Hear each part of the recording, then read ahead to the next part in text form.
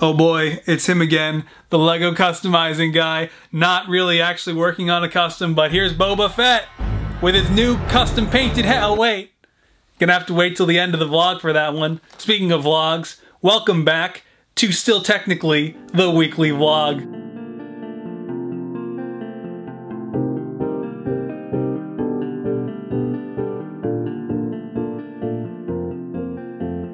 Real quick, just wanted to thank Skillshare for sponsoring today's vlog and that hard cut. And of course, if you haven't already heard of them by now, you probably have. Skillshare is a very big online learning community with literally thousands of really inspiring classes for creative types, especially like us, and really for anyone. Honestly, Skillshare is a really special and accessible and like welcoming platform for a variety of reasons, but really I just think that anyone can appreciate learning more about what you're interested in on your own time. All classes are blocked up into really short lessons too, so it really is accommodating. And I mentioned it before, but there are a handful of YouTubers on there too with their own classes that do go into a lot more depth than they usually have time for over here with their channels on YouTube. In our space, photo editing and video editing are obvious ones. If you want to get started with 3D printing, which is gradually making hand sculpting work in the LEGO customizing community pretty obsolete, there's a variety of really good beginner's blender classes on Skillshare Skillshare as well. And as a member, you get unlimited access to all of these classes. There are no ads. They're always releasing new classes, of course, and the first 1,000 my subscribers to click the link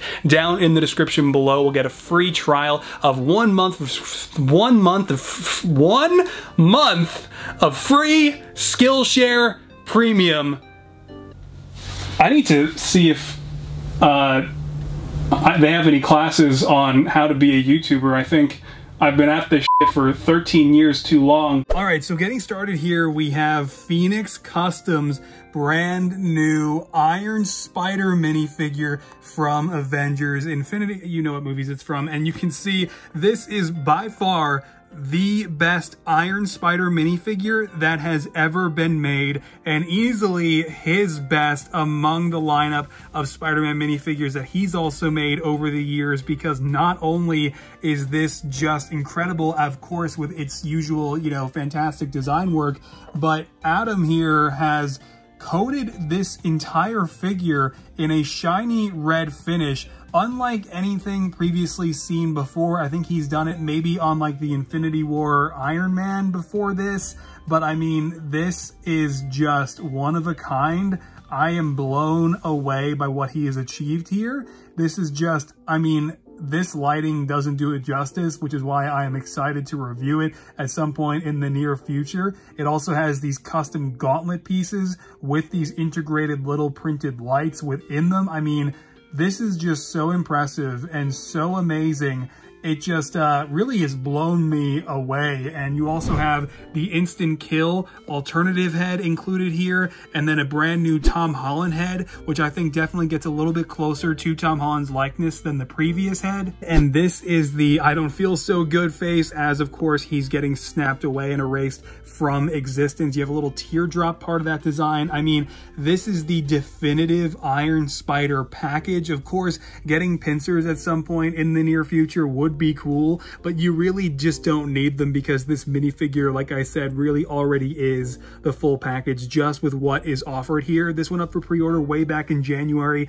and has not disappointed. This is why I always say with every Phoenix custom figure that I review, it's always worth it to get those pre-orders in because eventually way down the road when these do eventually ship, once the process is complete, it is always worth it. And Adam really never misses. I mean, I'm being totally honest in saying so. And it's really cool to see how far he has come in the last few years to be able to offer a minifigure like this because you take a look at the original Iron Spider that he did a few years ago before this was possible. And I mean, it is just so, so cool. This minifigure still is amazing for what it's worth. And this is just built upon it. This is so impressive and so high quality and hands down one of the best minifigures that I own now. And I'm very excited to talk more about it in the near future. Let me know if you guys think I should also review his Into the Spider-Verse Miles Morales in the same video. I'm thinking about doing another like double review and just hitting two birds with one stone and just kind of celebrating No Way Home and the multiverse by uh, pairing those two together for the same video. But uh, each of these releases have just continued to make my original Infinity War Iron Spider that I painted way back in 2018 look like absolute now heading back over to a new development for my Mandalorian Season 2 showcase. Check this out. We've got Boba Fett on his throne now, and this is something that I wasn't really planning on doing until they unveiled the first poster for the book of Boba Fett, and then I decided, okay, my Boba Fett minifigure that I'm working on needs a throne for this showcase, and so taking some direct inspiration from Bloxmag, I threw this together in Bricklink Studio in like an hour, and then ordered all the parts, and they finally showed up, and I threw it together pretty recently here, and I think it looks so, so cool, and I really cannot wait to set up a Fennec Shand minifigure right here on the edge as well. Unfortunately, the eBay seller that I ordered that minifigure from is taking forever, and I just really hope that she'll get here in time for the video, because uh, I don't plan on making a custom Fennec Shand myself since Legos is so good. Um, but yeah. Okay, now this is going to be the random portion of the vlog, or in other words, collectibles and LEGO sets that I've been anticipating for months that have finally started to roll out and uh, release in this past week and make it here, or at least arrive here. And we've got the uh, Spider-Man No Way Home Sanctum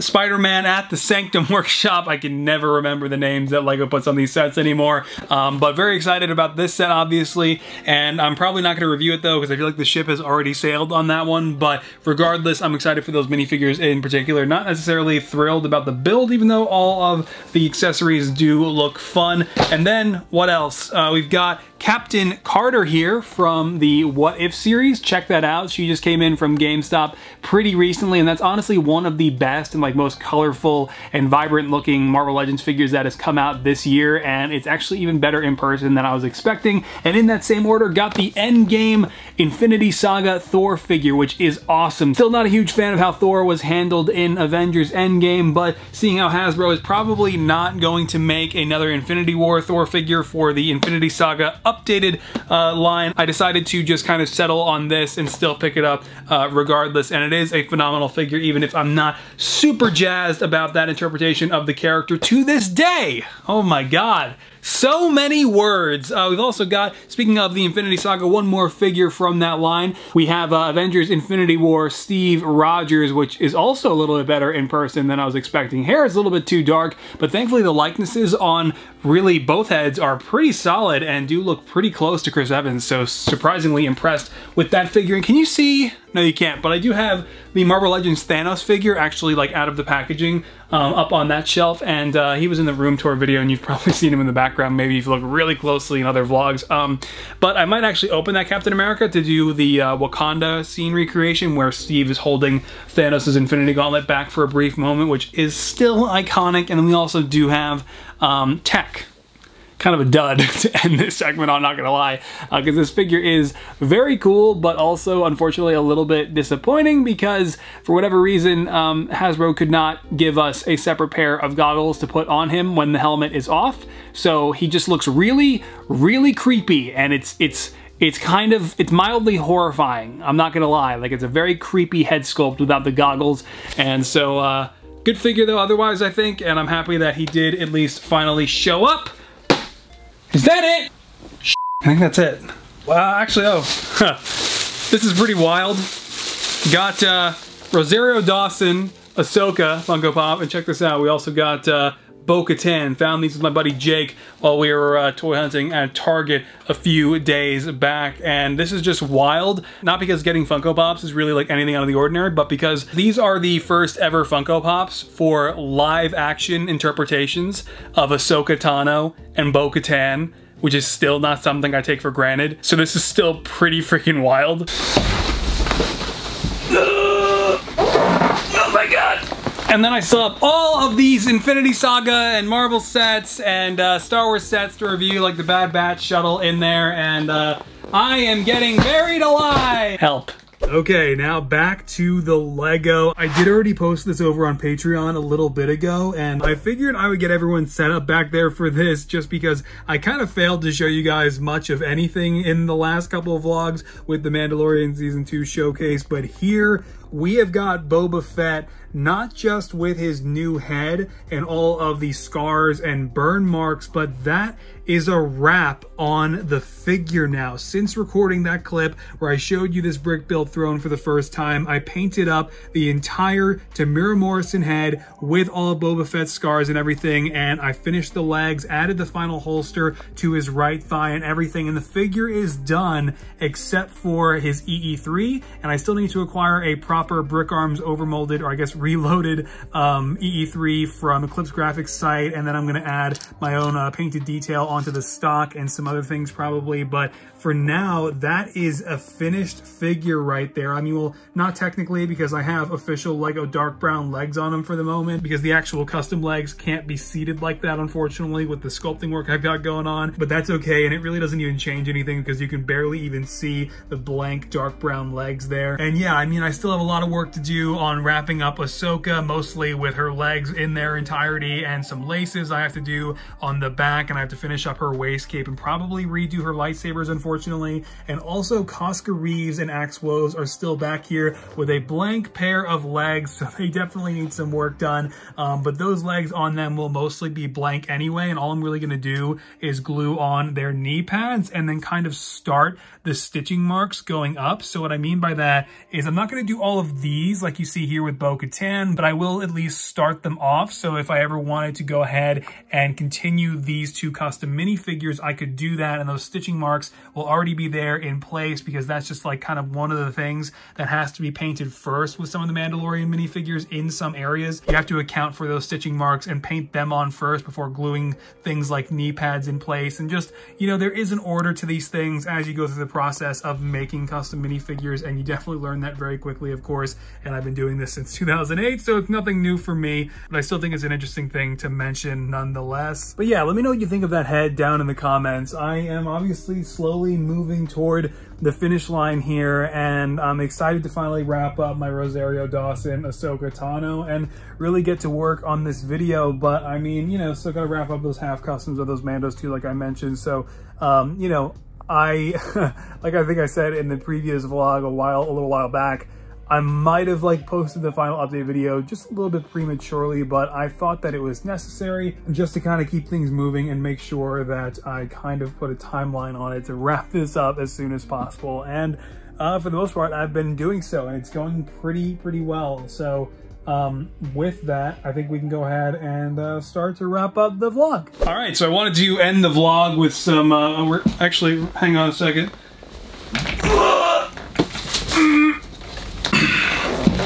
Real quick, I wanted to uh, actually show you, I got Mobius. Check this guy out. Look at this dude. There he is, Owen Wilson. Wow, really great guy and a really great figure with a really solid likeness. But I'm not an action figure reviewer, so you can look up better pictures of it somewhere else. That's Target exclusive, by the way, so that's pretty cool. Got that over there. Uh, Site to store is a great thing. I saw James Bond, No Time to Die, and it was amazing. It was honestly, to me, like watching a definitive James Bond concluding movie, and no spoilers, of course, but it actually kind of bums me out a little bit that I sort of have missed this generation of James Bond. It kind of occurred to me that, um, you know, going into this movie, I really never did see Casino Royale or Quantum of Solace. So, um, you know, and I don't remember shit about Skyfall, barely anything about Spectre. So going into this movie, I was missing a lot of the emotional weight right? I'm familiar with the characters generally, um,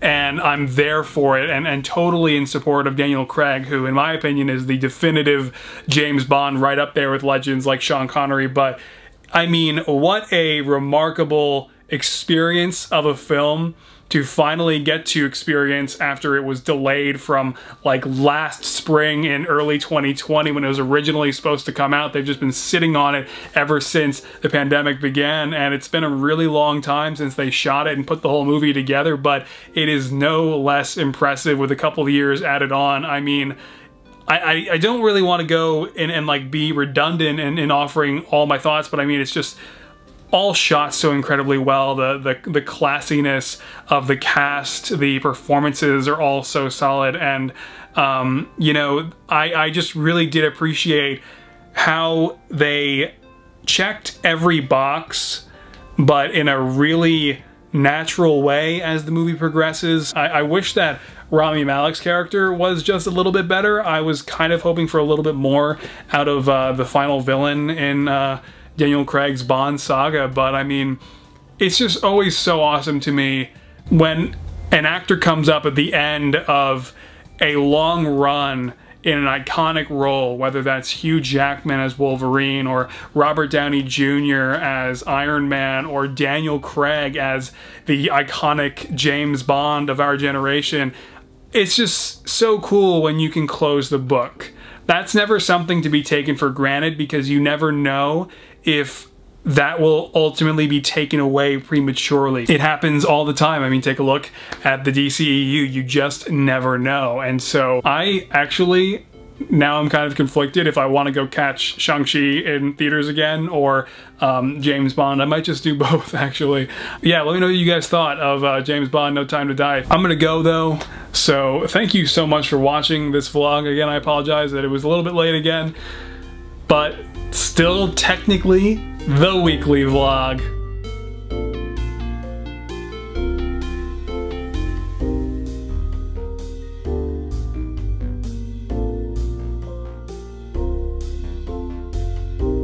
It's Ross, the MGF custom customizing guy who uh, finishes customs sometimes. Welcome back to the weekly. of course, if you hadn't already heard of them by now, as a member, you get unlimited.